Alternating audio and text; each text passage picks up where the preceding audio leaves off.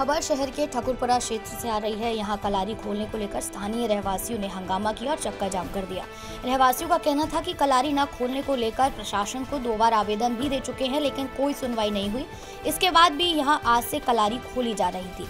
कलारी न खोलने को लेकर यहाँ के रहवासियों ने चक्का जाम कर दिया। विरोध प्रदर्शन देखकर प्रशासन हरकत में आया और अधिकारियों को भेजकर लोगों को कलारी हटाने का आश्वासन दिया, जिसके बाद चक्का जाम और विरोध प्रदर्शन बंद कर दिया गया। इस पूरी कार्रवाई में समाजसेवी अवधेश शिवरी की भूमिका महत्वपूर्ण रही, जिन्होंने मौके पर लोगों को समझाइश दी व अधिकारियों से बातचीत कर उन्हें मौके पर बुलाया। मामले की सूचना मिलते ही पुलिस व आबकारी सहित प्रशासन की टीम मौके पर पहुँच गई थी।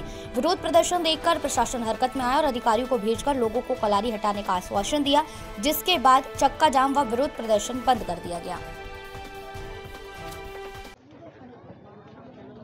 आज वार्ड नंबर उनतीस में शराब की दुकान को हटाने को लेकर प्रदर्शन किया गया था।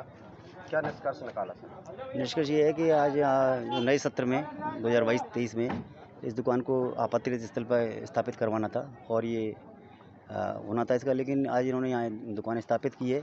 अब चूँकि आसपास यहाँ पर जनसंख्या है लोगों को आना जाना रहता है ऐसे लोगों के द्वारा बताया गया महिलाएँ भी निकलती हैं बच्चे भी निकलते हैं।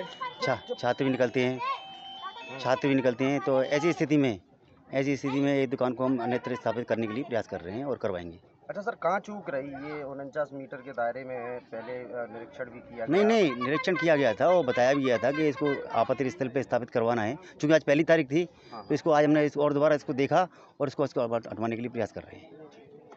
दारू की दुकान तो